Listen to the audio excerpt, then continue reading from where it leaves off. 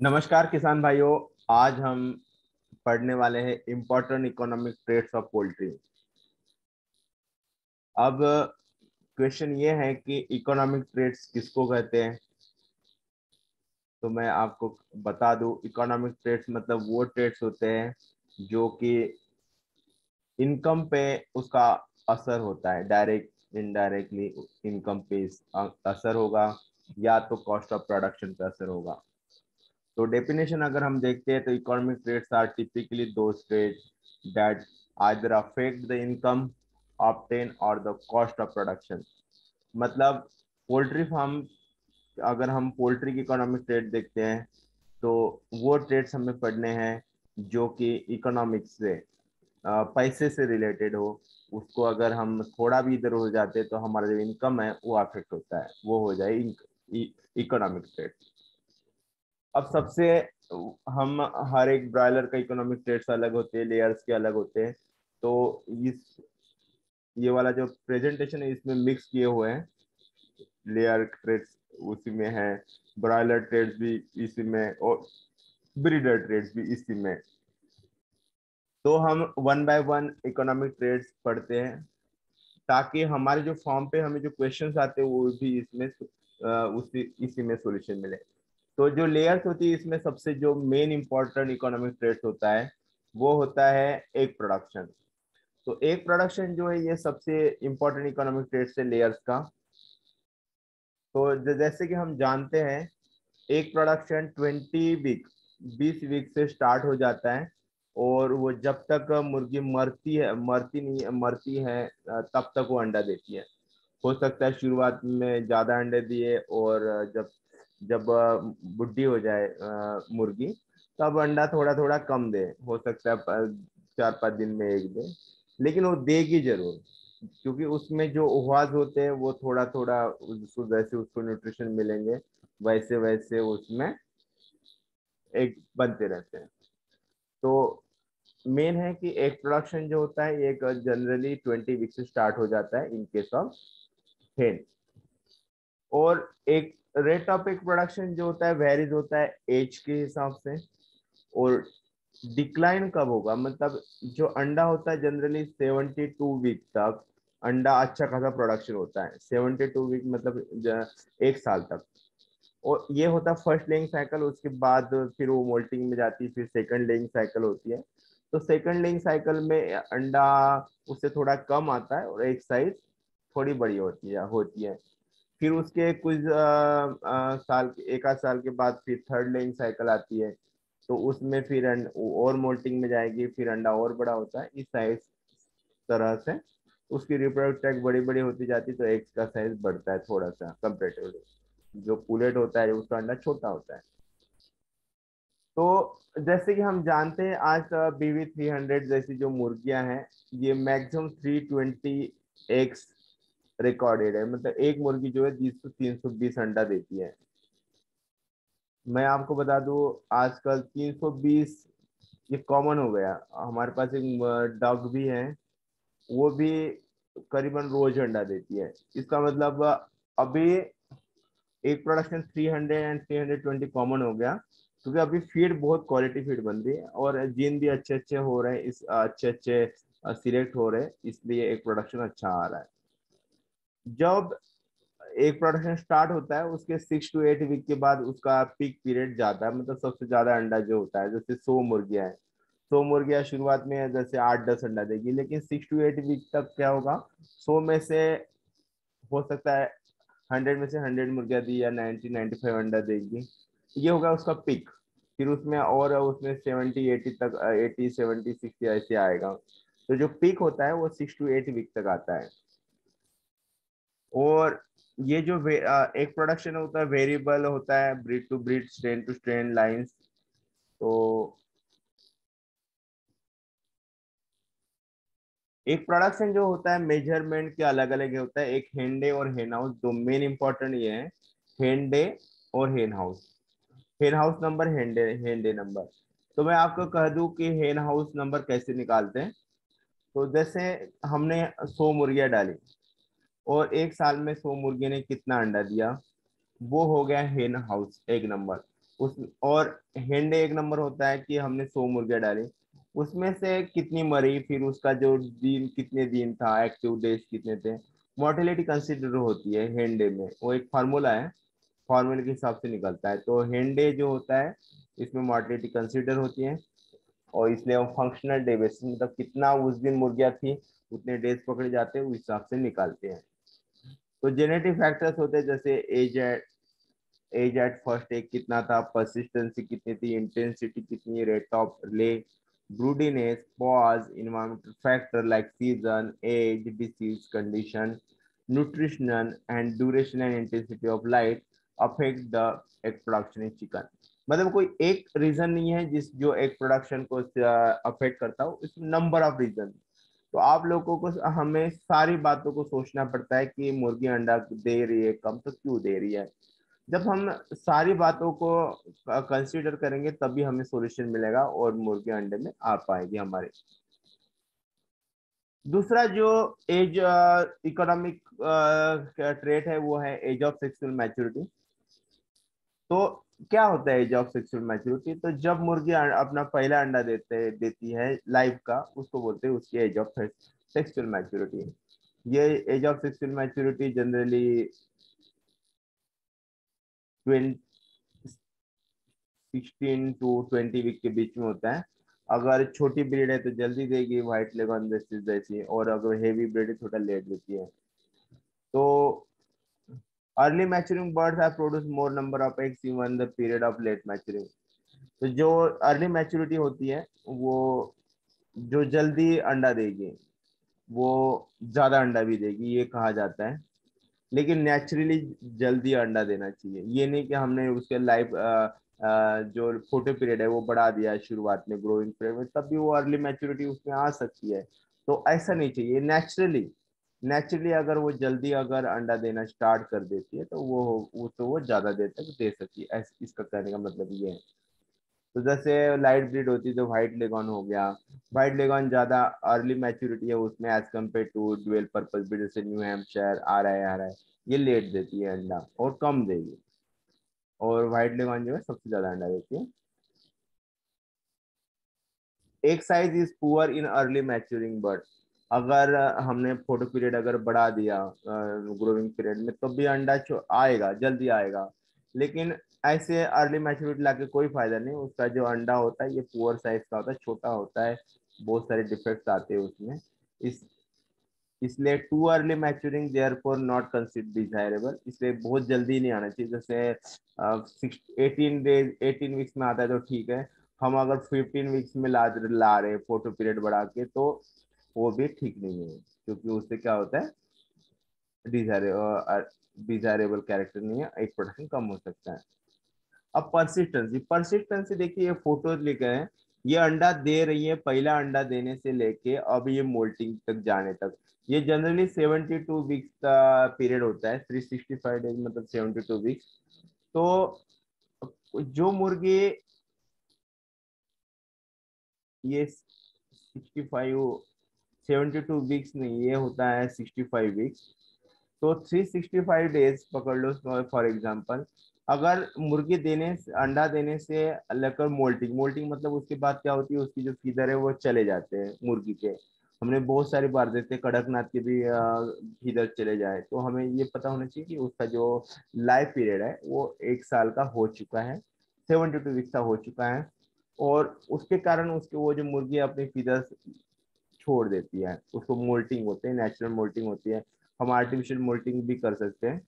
तो फिदर छोड़ना, उसका छोड़ करेंगे, छोड़ने का मतलब क्या होता है कि वो फिर जैसे सांप अपनी, वो सांप के ऊपर की खाल छोड़ देता है, वैसे मुर्गी भी अपने फिदर पूरे छोड़ देता है। और उसके बाद क्या होता है, मुर्गी नए से एक प्रोडक्शन में आती है।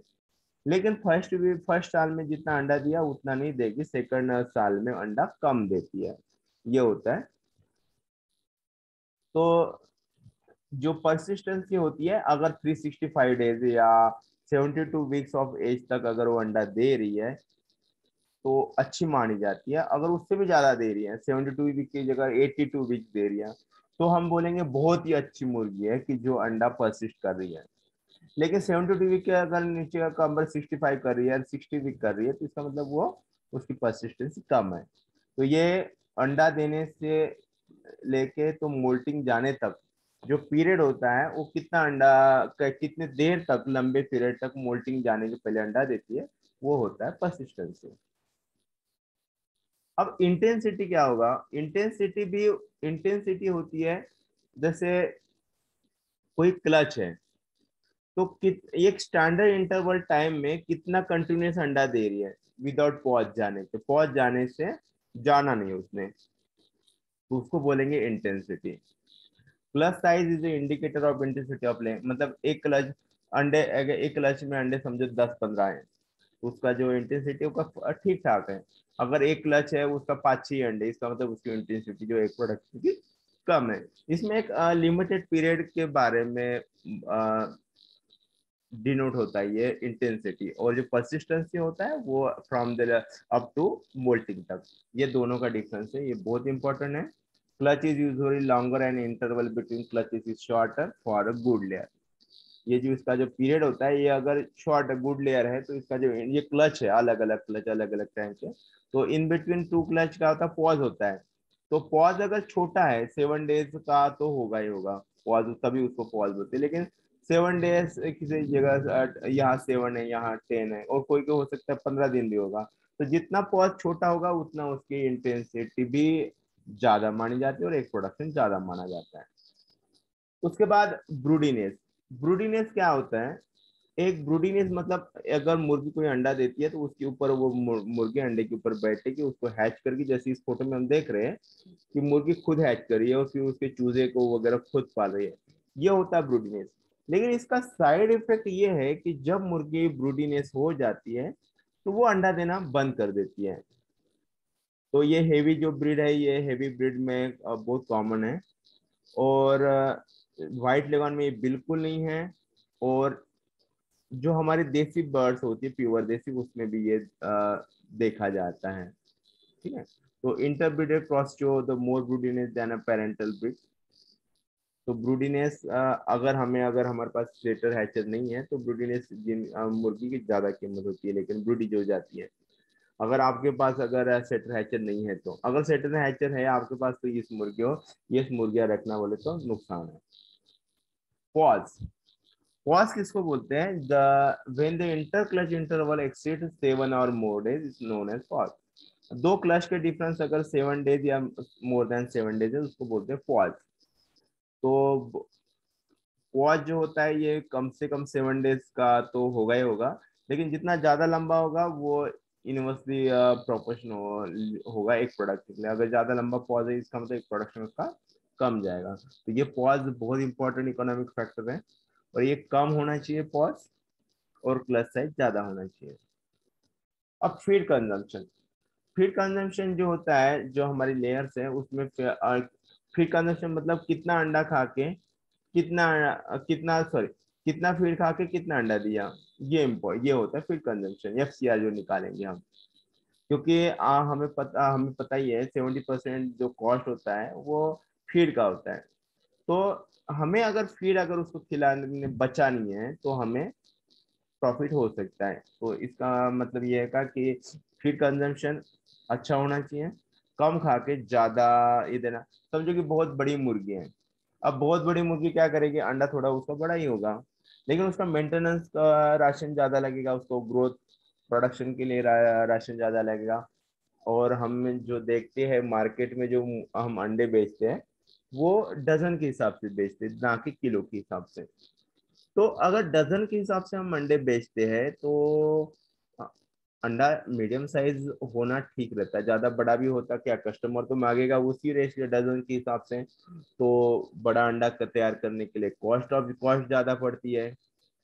इसीलिए मीडियम साइज़ अंडा ही अच्छा रहता है। बॉडी वेट अब बॉडी वेट जो होता है, ये लेयर्स और ब्रॉयलर दोनों का ही इकोनॉमिक ट्रेड्स है। अगर लेयर की बात करते हैं तो बॉडी वेट जो होता है वो कम होना चाहिए one one point one point two K G अगर ब्रॉयलर है तो इसकी बॉडी वेट ज़्यादा से ज़्यादा होना चाहिए। देखो लेयर में क्या होता है, अगर बॉडी वेट ज़्यादा इसका मतलब उसकी फैट ज़्यादा होगा, फिर वो एक प्रोडक्शन कम देगी। वो इनवर्स रिलेशन होता है। लेकिन ब्रॉयलर में क्या होता है, जितना बड़ा बॉडी वेट होता है, उतना अच्छा उसका ज़्यादा मीट निकलेगा प्रॉफिट हो जाएगा। तो हमेशा जो लेयर होती है, ये लीन होती है मतलब सुकड़ी सुकड़ी होती है, और वो ज़्यादा अंडा देगी। और ब्रॉयलर जो होता है, ये तगड़ा होता है। तगड़ा मतलब उसमें फैट ही रहता है ज़्यादा। तो ये बॉडी वेट के बारे में हम बोल सकते हैं। उसके बाद जो इकोनॉमिक ट्रेड्स है, वो है एग वेट लेयर्स में। तो एग वेट देखो एग वेट जैसे मैंने बताया कि स्टैंडर्ड एग वेट जो होता है चिकन का 58 ग्राम होता है। तो जैसे कि मैंने अभी बात की थी ज़्यादा अंडा बड़ा भी नहीं होना चाहिए और छोटा भी नहीं होना चाहिए। मीडियम अंडा होना चाहिए 58 ग्राम का क्योंकि ज़्यादा बड़ा अंडा है तो उसको बनाने में ज़्यादा खर्चा आएगा लॉस हो जाएगा हमारा और छोटा अंडा है तो भी। इसमें हाँ ये देखता होता है कि शेल थिकनेस उसकी जो क्वालिटी है अंडे की ये देखनी होती है। इंटरनल क्वालिटी एक्सटर्नल क्वालिटी अगर उसमें क्रैक्स तो नहीं है इन आ, उसमें शेल शेल कैसी है ऊपर की जो है पतली तो नहीं है। पतली होगी तो हमें कैल्शियम वगैरह देना पड़ेगा। ये सब चीज़ें हमें देखनी पड़ती है एग वेट में। और मीडियम साइज़ अंडा बेस्ट होता है। हैचरी पर्पज के लिए ब्रीडर हो तो या लेयर हो तो या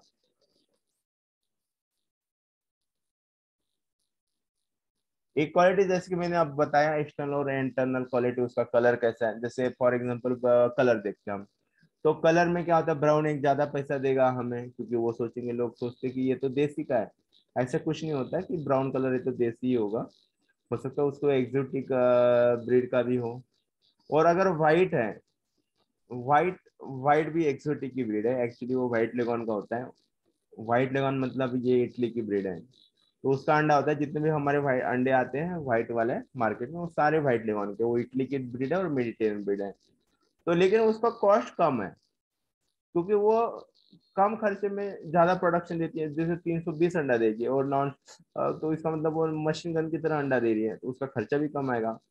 अब दूसरी जो है ब्राउन कलर का अंडा थी, वो कभी कभी अंडा आता है, उसका एक प्रोडक्शन उतना नहीं होता थ्री ट्वेंटी तो उसका जो कॉस्ट ऑफ़ प्रोडक्शन ज़्यादा हो जाएगा। लेकिन ब्राउन कलर का अंडे का ज़्यादा प्राइस मिलता है व्हाइट का कम मिलता है, वो सारी चीज़ें हमें देखनी पड़ती है। ब्रेकिंग स्ट्रेंथ देखनी पड़ती है, अंडा जलते टूट तो नहीं जाएगा ट्रे में रखते ही अगर उसका शेल टूट गया, तभी लोग कोई नहीं लेंगे। उसका टेक्सचर कैसा है, ये सारी चीज़ें हमें देखना होता है। उसके बाद हमें देखना होता है उसमें फील, जो योक है, योक डार्क पीला होना चाहिए। डार्क पीला कैसे होता है? झांतोफिल पिगमेंट होती है, उससे होता है। ये जो मक होती है, मेज मेज में होती है तो वो खिलाने से वो, या तो मैरी गोल्ड जो फ्लावर होते हैं, गेंदे के फूल, वो खिलाने से भी वो अंदर का उसका येलो होता है। अब बॉडी साइज़ ब्रॉयलर अभी यहाँ से लग गए हमारे इकोनॉमिक रेट ऑफ़ ब्रॉयलर तो बॉडी साइज़ बहुत इंपॉर्टेंट होती है ब्रॉयलर में। ब्रॉयलर में जितना बड़ा होता है, जैसे फ़ोटो लगाए ये ब्रॉयलर कॉप सेवन हंड्रेड तो ये जितना बड़ा होगा, उतना अच्छा है। ये व्हाइट लेगॉन देखो, कैसी सुकड़ी सुकड़ी है। तो व्हाइट लेगॉन की बात लीन होनी चाहिए, ये एस्ट्रोलॉप ये ये सब में पर्पज है। तो जितना पतला होगा वो अंडा ज़्यादा देगा और जितना बॉडी होगा उसका मेट के लिए प्रॉफिटेबल होगा, ये बॉडी साइज़ है। तो small and intermediate body weight is preferred for layer तो जो भी जितने भी स्मॉल है, वही ज़्यादा लेयर्स में यूज़ होती है। कंफर्मेशन जो होती है, वो भी ब्रॉयलर में ज़्यादा इंपॉर्टेंट जैसे उसका ब्रिश बोन कैसे है शांक लेंथ कैसी है ये सारी बॉडी साइज़ उसका ब्रॉड प्रोपोर्शन होता है कंफर्मेशन बहुत इंपॉर्टेंट होता है इनके सब ब्रॉयलर अब ग्रोथ जो ग्रोथ होती है ये हमें सिर्फ़ मिड टाइप बर्ड में ज़्यादा इंपॉर्टेंट होती है लेयर्स में तो उसका कोई फ़ायदा नहीं होता लेयर्स में क्या होता है उसको एक स्लो स्लो स्लो ग्रोथ हो जाए तो कोई कोई प्रॉब्लम नहीं उसको क्योंकि उसको छह महीने तक तो उसको ऐसे भी पालना होता है छह महीने के बाद ही प्रोडक्शन होता है लेकिन जो ब्रॉयलर होता है, वो हमें थर्टी डेज़ में दो, डेढ़ किलो का, दो किलो का बनाना होता है। थर्टी थर्टी टू डेज़ में आजकल दो किलो का बन जाता है मुर्गा। तो उसमें ग्रोथ कितनी फास्ट होती है, वो देखना होता है। उसके लिए फिर आपको फ़ीड वैसी लगेगी, उसका अच्छी क्वालिटी का जीन लगेगा। अभी बहुत अच्छे अच्छे वेन कॉप वगैरह जो चूजे होते हैं चिक होते हैं, बहुत अच्छी अच्छी क्वालिटी है थर्टी थर्टी टू डेज़ में दो किलो के आराम से हो thirty three thirty five days तक तो दो किलो के हो जाते हैं आराम से। फ़ीड एफिशिएंसी भी, अभी देखो, जैसे कि ब्रॉयलर में अभी बात की मैंने, चूजा बड़ा भी होना चाहिए, लेकिन चूजा तो बड़ा होना चाहिए एट द टाइम उसमें कम खाना भी चाहिए, ये भी मेन है। अगर समझो कि चार किलो खाना खा के अगर वो दो किलो बन रहा है, तब भी कोई फ़ायदा नहीं, क्योंकि टू वन इंस टू टू का एफ़ सी आर बनेगा। तो दो, चार किलो खा के अगर दो किलो बनाकर, आज के टाइम जो एफ़ सी आर है वन पॉइंट फाइव सबसे अच्छा माना जाता है one point four to one point five maximum हो सकते पॉइंट सिक्स अगर 1.6 के ऊपर अगर एफ़ सी आर है, इसका मतलब वो लॉस में जाएगा, कहीं ना कहीं बिज़नेस तो हमें जब भी हम हमारा ये तो एफ़ सी आर निकालना बहुत ज़रूरी क्योंकि आजकल कॉस्ट जो है, आसमान को छुए। आज मेरे ख्याल से फिफ्टी टू फिफ्टी रुपीज़ का एक के जी फ़ीड मिलता है। तो इतना ज़्यादा कॉस्टली जो है हमारी फ़ीड है, उसको हम एफ़ सी आर बहुत अच्छा बहुत अच्छा होना चाहिए फ़ीड का, तभी उसमें बचेगा कुछ। उसके बाद है फर्टिलिटी एंड हैचेबिलिटी। तो ये जो पैरामीटर है, ये ब्रीडर्स का है, parameter, economic trait of breeder. अब फर्टिलिटी और हैचेबिलिटी की क्या ज़रूरत पड़ती है? अगर हमारे पास ब्रीडर है, अगर उसमें जो अंडे निकल रहे हैं, उसके जो अंडे में फर्टाइल ही नहीं आ रहे तो कोई फ़ायदा नहीं, हमें लॉस हो जाएगा हैचरी नहीं चलेगी। अगर फर्टाइल अंडा नहीं हैचेबिलिटी हैच नहीं हो रहे हैं अंडे, तब भी तो फर्टिलिटी हैचेबिलिटी बहुत ज़रूरी होता है। अब फर्टिलिटी एंड हैचेबिलिटी कैसे काउंट करते हैं? एक तो हमें, मैं आपको बता दूँ, बिना अंडे तोड़े हम बता नहीं सकते कि वो फर्टाइल है कि नहीं, बाहर से। या तो उसको फिर हमें इंक्यूबेट करना पड़ेगा टेम्परेचर देना पड़ेगा तो उसमें ब्लड वेसल वगैरह पैदा होगी। उसके बाद हमें पता चलेगा ये फर्टाइल है। अगर समझो कि पहले ही चूजा मर गया एम्ब्रियो बनने के टाइम पहले, तभी वो फर्टाइल था, लेकिन वो चूजा नहीं बना। हैचेबिलिटी क्या क्या होती है? हैचेबिलिटी मतलब चूजा निकला। तो जो फर्टिलिटी होती है कैसे निकालेंगे? Fertility percentage on the basis of एक सेट और हैचेबिलिटी दो टाइप्स की निकलती है। एक होता है hatchability on the basis of fertile eggs और hatchability on the basis of total egg set ऐसे दो टाइप्स निकलती है। दो फर्टिलिटी एंड हैचेबिलिटी जो होती है age of bird season nutritional status of flock diseases management condition ये सारी चीज़ें, बहुत सारी चीज़ें होती है जो कि फर्टिलिटी हैचेबिलिटी भी अफेक्ट करती हैं। लेकिन हैची जो हम हैची में यूज़ करते हैं, वो मीडियम एग्स यूज़ करते हैं। ज़्यादा बड़ा भी नहीं होना चाहिए बस ज़्यादा छोटा भी नहीं होना चाहिए। क्यों हम मीडियम साइज़ यूज़ करते हैं? क्या कि यूनिफॉर्मिटी होनी चाहिए जो हैच है एक दिन में एक टाइम में आना चाहिए। अगर extremely large extremely small है तो इसका मतलब इंक्यूबेशन पीरियड बढ़ेगा जो बड़ा अंडा है तो उसका ज़्यादा होगा तेईस चौबीस होगा जो स्मॉल होगा उसका बीस उन्नीस होगा है ना? तो एक दिन में निकालना होता है हमें हैच तो उस टाइम तो सारी चीज़ें एक टाइम में नहीं, नहीं निकले गए इसीलिए हमें मीडियम साइज़ के अंडे यूज़ करने होते ताकि हैच एट वन टाइम निकले।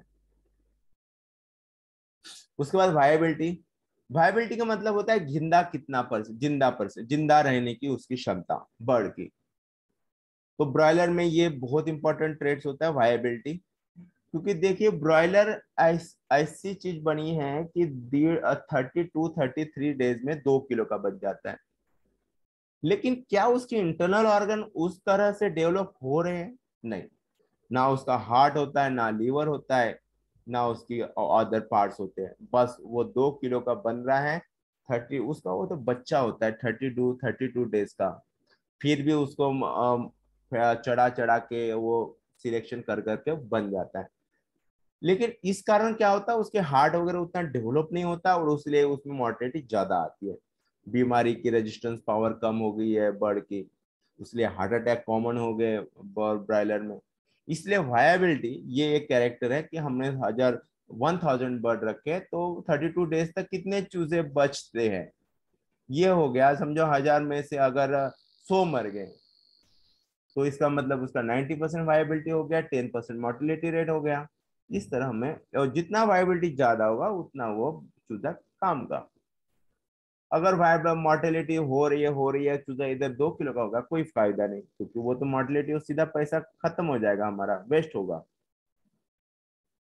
उसके बाद कोम टाइप ये जो कोम टाइप होता है ये थोड़ी डेकोरेशन दे, जो आ, गेम्स या स्पोर्ट में जो या शो पर्पज के लिए यूज़ होते हैं उसमें ये काम किए होते हैं कोम कौन से टाइप का और कोम से हमें ब्रीड भी पता चलती है जनरली जो है चार कोम हम यूज़ करते हैं सिंगल कम रोज को पी कोम और वॉलनट को अभी अभी मैंने ये सिंगल कोम तो हमने सब देखा ही होगा आपने। जो पी कोम होता है, ये हमारे असील मुर्गे में देखता है। और जो कड़कनाथ होता है, उसमें जनरली सिंगल कोम होता है, लेकिन उस अभी कुछ दिन पहले मैंने हमारे जो पोल्ट्री फार्म है कड़कनाथ का आर में, वहाँ पे रोज कोम दिखा। अब आप बता सकते रोज कोम कैसे आया कड़कनाथ में? इसका एक खासियत होता है, जब सिंगल कोम कोई भी, अब अब कड़कनाथ बर्ड है, इसका ज़रूरत नहीं, उसका क्रॉस नहीं हुआ होगा। हुआ होगा कहीं ना कहीं क्रॉस तो होते ही रहते हैं बर्ड के। तो जब single comb single comb bird के साथ क्रॉस होता है, इसका मतलब नेक्स्ट जो प्रोजनी होती है, वो सिंगल कोम ही बनती है। अगर सिंगल कोम अगर पी कोम बर्ड के साथ अगर क्रॉस हो गया तो नेक्स्ट जो प्रोजनी होगी, वो पी कोम वाली बनेगी। अब रोज कोम बर्ड अगर सिंगल कॉम बर्ड के साथ अगर क्रॉस होता है तो नेक्स्ट जो जनरेशन होता है, वो बच्चे सारे रोज कोम के आते हैं? ये इंपॉर्टेंट है। अब वो कड़कनाथ का क्या हुआ होगा, जो सिंगल कोम कड़कनाथ है, वो किसी और बर्ड के साथ क्रॉस हुआ रोज कोम तो उसके जो बच्चे निकले, वो भी रोजकोम वाले कड़कनाथ वो रोजकोम वाला कड़कनाथ बन गया। ये होता है। अगर समझो रोजकोम और पी कोम दोनों को अगर क्रॉस कर दिया तो कौन सा नया कौन? ये दोनों इनकम्प्लीट डोमिनेंस है इसमें। इसलिए जो नई जनरेशन में आते हैं, वो वॉलनट कोम आता है। ये इंपॉर्टेंट है इसमें। ये बहुत कॉमन क्वेश्चन पूछते हैं कि pea comb with cross with rose comb कौन सा कोम निकलता है? अब स्किन को स्किन कलर स्किन कलर हमने जैसे पढ़ी है, तीन कलर दो कलर की तो होती है येलो और व्हाइट ये दो इंपॉर्टेंट होती है स्किन कलर तो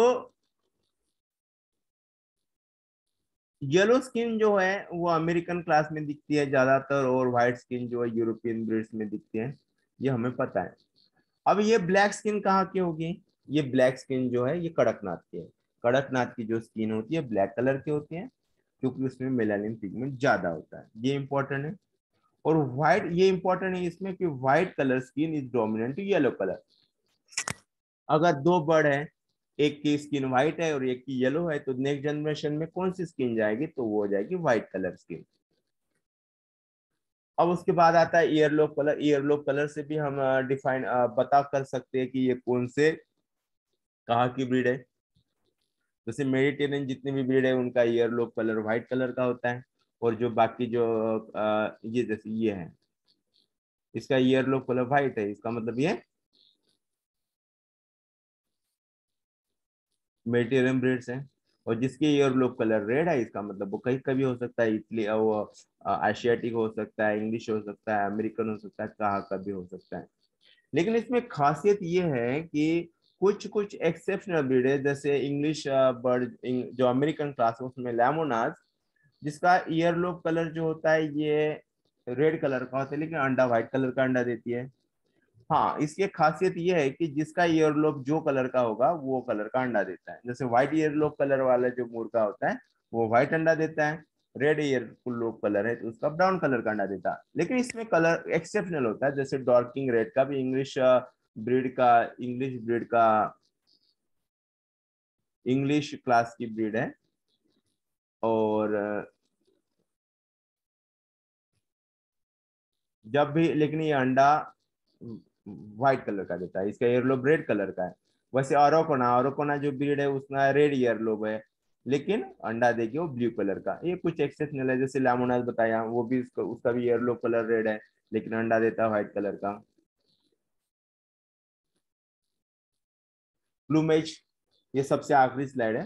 प्लूमेज जो होता है ये हमारे बर्ड में अलग अलग कलर दिखता है।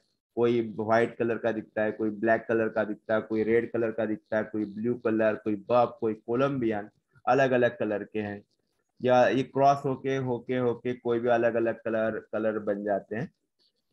तो प्लूमेज पैटर्न होता है एक लास्ट इकोनॉमिक ट्रेड इसमें एक नेकेड नेक फ्रीजल और ने, नेकेड नेक मतलब ये नेकेड नेक है इसके जो नेक होते हैं ये इस पे फिदर नहीं आते। ये ही स्ट्रेस में अच्छा होता है। जो ही अपनी हेड बाहर छोड़ देता है तो मरता नहीं।